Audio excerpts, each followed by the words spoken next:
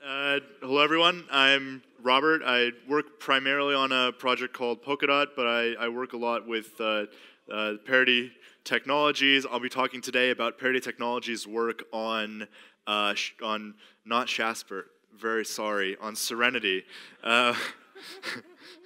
Uh, basically, what we've been doing so far, uh, we're building it on this platform called Substrate. First, I'm going to go into what that is, a little bit of background on, on sharding, on Casper, on Serenity. Uh, Vitalik and Justin uh, and the others can explain that way better than I can, so I'm sure you've seen their talks as well. Uh, and then basically dive into what, we're, what we've been doing, what we are doing in the future, uh, and what we're doing now on building out all of that.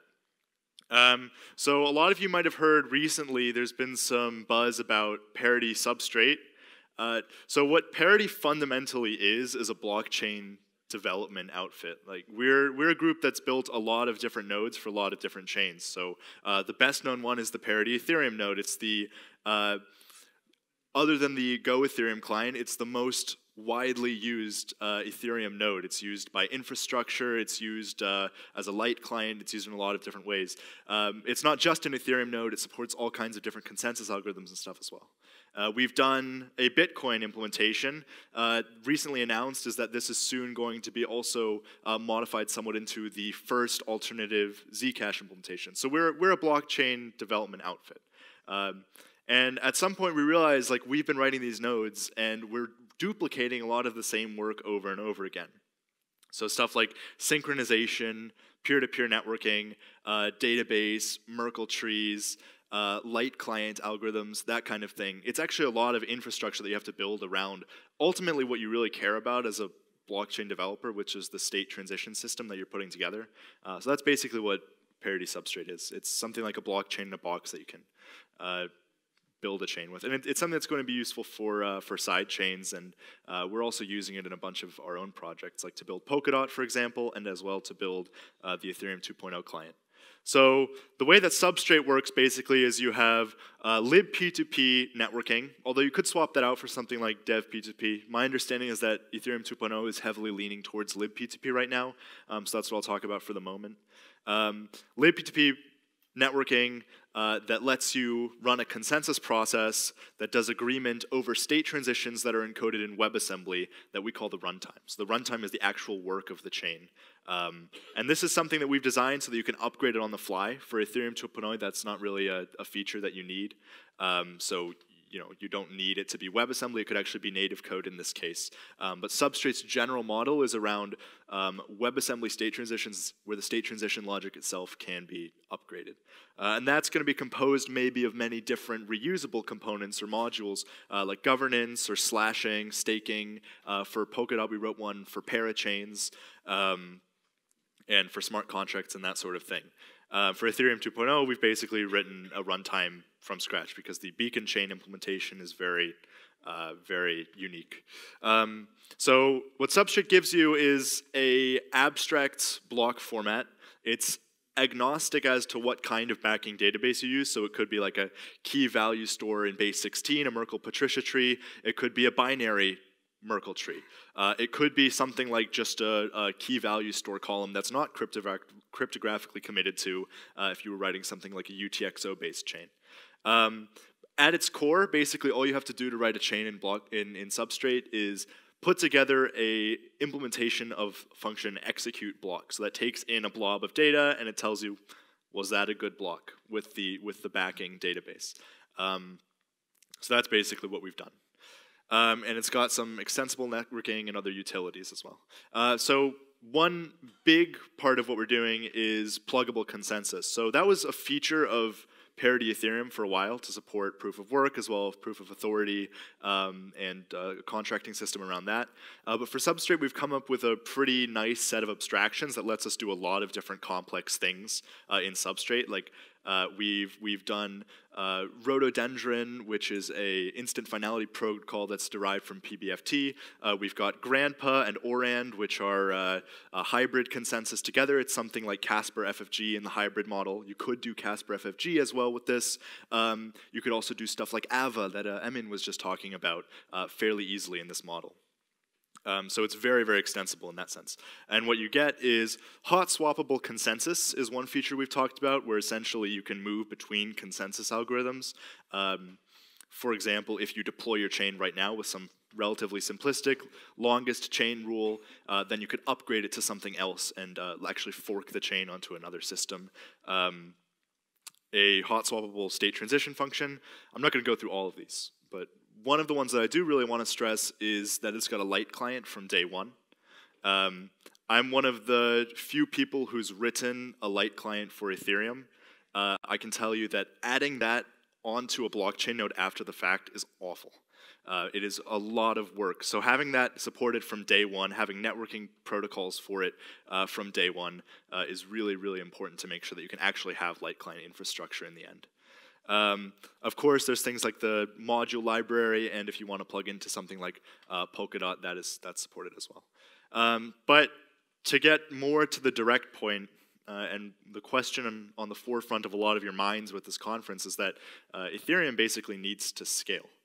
Uh, so the EVM can't process the proof of work consensus, the EVM can't process enough transactions for the uses that we're already seeing. Um, that's just the case. Um, side chains and bridges, which Bjorn talked about a bit earlier on the main stage, uh, are a temporary solution to this problem, but they only mitigate it. Uh, at some point, even if you have a ton of side chains and a ton of bridges, you're sort of fragmenting the ecosystem, which isn't ideal, uh, and also you're uh, uh, just delaying the scaling issues because at some point you won't be able to get all those bridge notifications onto the chain as well. Um, so you really need a root level chain that's scaling. So the solution proposed by uh, the Ethereum research team is Serenity, Ethereum 2.0. So this is, this is a name that's been around for a while. I mean, Serenity has been on the Ethereum roadmaps for years. Uh, the exact feature set that it's encompassing is just being nailed down now. Um, so the spec uh, is about 60% complete now. It doesn't cover everything like block authorship, uh, but it does get the core of the state transition system, validator shuffling, changing validator dynasties, and um, uh, collecting attestations and that sort of thing. So the main piece of the sharding design is a beacon chain. Uh, and this is what we're building on Substrate. So it's sort of a shard coordinator. It manages proof of stake validators, it add blocks, adds blocks to the chain, it finalizes them, it gets cross links from shards, um, which are attested to by committees of validators. So all the validators will be split up into small committees, each committee being assigned to a specific shard for a period of time. The assignment is done by a randomness beacon, which is why it's called a beacon chain. Um, and basically, these guys just attest to blocks that exist on shards. Um, it operates as a proof of stake chain. The validators um, might take turns proposing blocks, uh, which would be finalized by Casper FFG. So Casper FFG uh, is, is one of the Caspers that's floating around. Um, it's basically just a finality gadget. So uh, the term finality gadget is a bit nebulous, but um, it's essentially part of a hybrid consensus process where you have a probabilistic consensus algorithm adding blocks to the chain.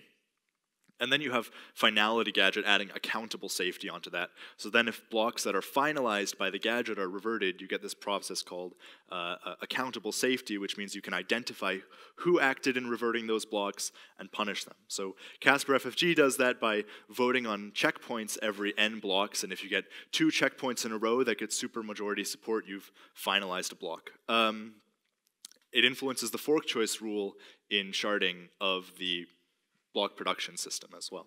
Um, the cool thing about Casper FFG is that you get information on chain about which blocks have been finalized, and the slashing conditions are really, really simple. Um, so this is sort of a diagram from the sharding website of what the Casper FFG fork choice rule is doing. So you have some um, you have some checkpoints which are uh, getting closer and closer to being justified. Like you always follow the most recently justified checkpoint, but then you also look at uh, which messages people are uh, passing around on unjustified checkpoints and use that to influence your uh, your your uh, target block on the, the main chain. Um, so shards are basically freestanding chains. They're secured by their own consensus algorithm. They're typically proof of stake um, and they're linked to the beacon chain via these cross links, these attested to statements that make their way onto the beacon chain. Um, so to look a bit at this diagram that we got from uh, Hsiao-Wei uh, and Ben Edgington, we can see that the, the architecture of sharding looks something like this. So the, the proof of work main chain is the anchor layer. This is actually like the Ethereum 1.0 chain. It's got this one directional uh, lockup stuff where you can basically lock up your ether on the existing chain, move it over to the, the beacon chain, and then get the beacon chain tokens for, uh, for participating as a validator there. Um, other than that, it's not particularly relevant. Um, the beacon chain is doing this randomness beacon stuff, coordinating between validator sets, and the shard chains are actually doing computations with a, a WebAssembly virtual machine. Uh, so now I'll get into the, the part of basically our implementation progress. Like where, where are we with that? Um, so I'll, first I'll zoom back in time. Uh, originally, there was a plan to have a hard fork in Ethereum uh, to, to implement Casper FFG uh, to, to hard fork the Ethereum main chain that we're using now and make a Casper FFG hybrid consensus model with the proof of work that's going on there. So we, uh, the first step that we took towards sharding uh, shortly after the tai, uh, Taiwan summit was to do this implementation. So that's been closed because this plan has uh, been abandoned. Um, but we did this work, we spun up a test net, and we showed that it was uh, at least in a proof of concept stage. Um, so now the, the, the, plan has pivoted somewhat to incorporate this beacon chain uh, uh architecture, and we are doing parity tech slash Shasper is the repository. Uh, so the developer who's been doing most of the work on this is a guy called Wei Tang from China. Um, we've uh, the rest of the substrate team has been contributing bits and pieces through architecture and, and pluggable consensus and that sort of thing. Um, but basically, this is a repository that contains uh, more or less everything that's specced out in the uh, state transition aspect of the beacon chain. Uh, block authorship, et cetera, is still to do, but uh, as those parts are further specced out, those will be added. Um, so most of it exists as a runtime, that piece of WebAssembly code that actually processes the logic of the chain. Um, so what this is, is processing new attestations, crystallizing them, handling new validator set changes, uh, and that sort of thing. Uh, Substrate's native block formats are a bit different than uh, the ones that the beacon chain uses. So the beacon chain will have fields like the RANDAO reveal or a pin to the uh, proof of work chain, the anchor layer that it's attached to. Um, but Substrate's native block formats don't really have that stuff. Uh, so we use an adapter. So basically on disk, we've got a uh, like one, one set of, um, of, of, of block types, which are the substrate block types, where these extra values are encoded as extrinsics, and on the uh, on the networking layer, we've, we've transformed them into Shasper or Serenity blocks so that when you communicate with other nodes, like those perhaps built by Prismatic Labs or, uh, or Lighthouse, uh, that they're all using the same block format, but actually under the hood, it's using a different block format. Um, Ethereum 2.0 is very likely to use libp2p for networking. So Substrate has been using libp2p from day one. Uh, at Parity, we even did, well, to, to, to, wind back a little bit, libp2p is a set of networking libraries uh, first designed, built, and described by Protocol Labs uh, of IPFS and Filecoin. So this is a, intended to be a set of cross-platform and future-proof networking libraries. Uh, at Parity, we did an implementation of those in Rust, and we've given that back uh, to, to open source, and we're uh, in the process of moving that over to, uh, to Parity Ethereum as well, so that Parity Ethereum can use libp2p as a backing network, uh, but we're also building Substrate out uh, with libp2p as first-class networking. So the next steps, like what's, what's next in the implementation side of things for Ethereum 2.0 for us? Uh, we are going to see this through. Parity is 100% committed to finishing the Ethereum 2.0 implementation. Thank you.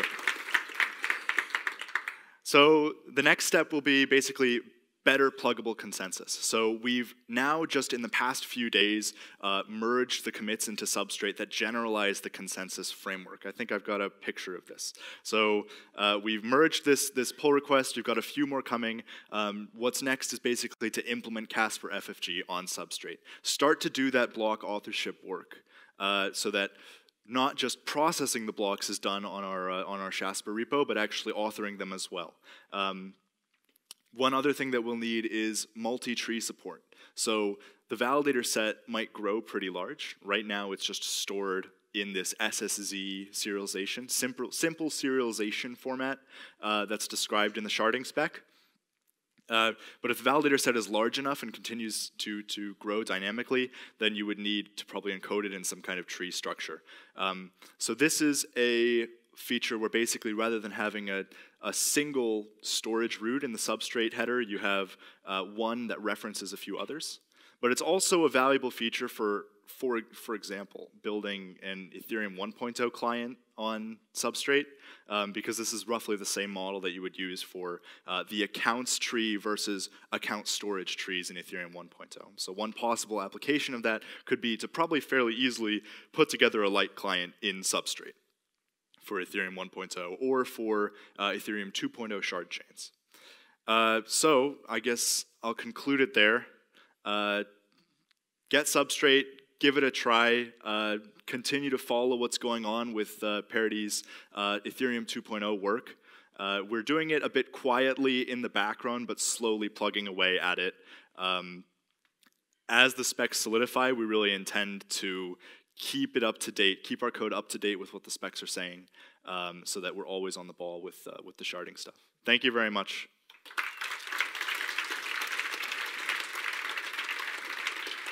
We have time for a few questions.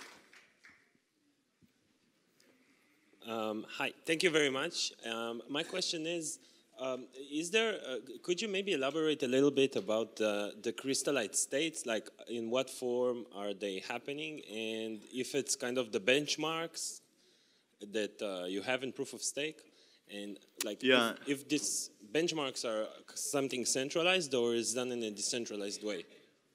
Yeah, um, so, so benchmarking the, the crystallized state is, is the question. Um, so the crystallized state is just something from the sharding specification. Um, so basically the state of the chain is split into two parts. You have the active state and the crystallized state. Um, so the active state contains sort of attestations uh, that have not been processed yet, and the crystallized state stores attestations that have been processed and checked, um, and, and as well like what the head of all the shards are, uh, that sort of thing, as well as the validator set. Um, we haven't benchmarked it yet. It's a bit early stage for that. I mean, there's not really much to benchmark until you have something like block authorship going. Uh, but you know, as soon as you have a chain up, you would start to see maybe how many transactions you can process. Uh, but right now is sort of the stage more for experimentation. Uh, like there aren't even really none of the beacon chain implementations are really at the stage where you could attach shards to them yet. So I don't think benchmarking sharding makes that much sense until you actually have shards. You said that uh, the substrate works with the beacon chain, but does it work with the shard chains as well? Uh, yeah, exactly. So you could you could use substrate to write uh, the beacon chain, which is what we're doing now, and you could also use it to write the shard chains. Like those are most likely going to be uh, proof of stake chains on their own that are running EWASM as the state transition, uh, from the perspective of the beacon chain, the chain, the, the, the shard chains are just blobs of data, so we sort of step aside from that problem for now.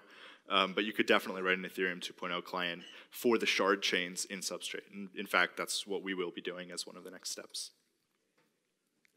Uh, so do you have any plans to upgrade some of the, the other products you support, like uh, you know the Bitcoin, the Zcash one you just announced, uh, the Ethereum 1.0 with Substrate once it's up and running and ready to go?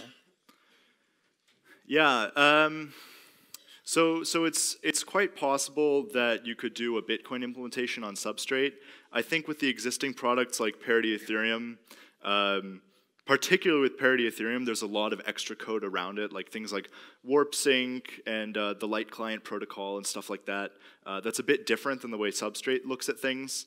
Um, so just with that amount of like three years of code, porting that all over to Substrate would be a bit too much work, probably. You could definitely write an Ethereum client in Substrate, but it's unlikely that the Parity Ethereum code base would migrate over to Substrate in the near future. Uh, the Bitcoin client is a lot less complex simply because Bitcoin is a lot less complex. Um, so I think it's very possible to do a, uh, at the very least, a UTXO-based chain on Substrate where you execute Bitcoin script transactions. Um, the question at that point is really just optimization. Like it's it's for sure possible to optimize a substrate node to get to the level of like a specialized Bitcoin node, um, but that would just at this point be duplicating effort since we've already written one. I think Substrate sort of at its niche is more uh, focused on less migrating over existing blockchain products because then people have already done all those pieces of work that Substrate is supposed to save you from duplicating. And um, rather focus more towards like new blockchain products to get people off the ground a bit faster. Like we found it to be immensely useful for the sharding stuff. Uh, Wei wrote up the state transition in like two weeks, uh, which you would think is, you know, if someone told you that beforehand, you would think that that's impossible. Uh, but managed to do it just because all of this stuff was completely taken away from developers. Yeah. Are you using um, gRPC for the uh, interface API or? Uh, gRPC. Yeah. Uh, is there a Rust implementation of that? Because I think I'm actually not familiar with with GR. We are using JSON RPC. Like there's some JSON RPC methods, uh, but I'm not familiar with uh, gRPC. Okay, it's just a Google's. Uh, um, I think just a Google library. Ah, gotcha. The Go versions use it. Ah, okay, okay. For so like both as like a JSON RPC server. Yeah, yeah. No, um, so we've we've written like Parity has written our own uh, JSON RPC library in Rust. Actually, the guy who wrote most of it is sitting right behind you. Um, so talk to him. But uh, yeah, so a lot of this stuff doesn't exist in Rust yet. Uh, when we started to use Rust, like these libraries, like uh, we had to write a lot of them ourselves. So uh, mostly our own code. Just uh, another one off the top of my head. Uh, you mentioned alternative networking uh, protocols. Is I2P in any sort of plans or anything like that? I2P. Uh, what, what's I2P? Sorry, say it again to the mic. Uh, Kovri for Monero is supposed to have additional privacy guarantees over P2P. Ah, okay, yeah. Um, I don't see why not. Uh, basically, like none of the code that uses networking assumes anything about the networking protocol that's being used. Um, so it's fairly generic. Like usually, at least in the consensus algorithm stuff or the block propagation stuff, it's like you have a stream of incoming messages and a stream of outgoing messages on some topic or some peer-to-peer connection. So it doesn't really matter what you're using for that. libp2p is one option, and that's the one that we've coded up. But it shouldn't be too hard if you have like an I2P library that you can link into Rust or do an implementation of that in Rust to slot that in as well. Um, we're not probably going to do an implementation of that ourselves, but it's an open source project, and that kind of contribution is the stuff that we actually really want to see. Um, so if there were to be a pull request open to implement I2P support in Substrate, we would definitely review it and merge it. Yeah, we'll do. All right. Uh, that, that about wraps it up for this room. I'm Corey Petty from the Bitcoin Podcast and Status, and there's still some more stuff on the main stage. So thanks, guys.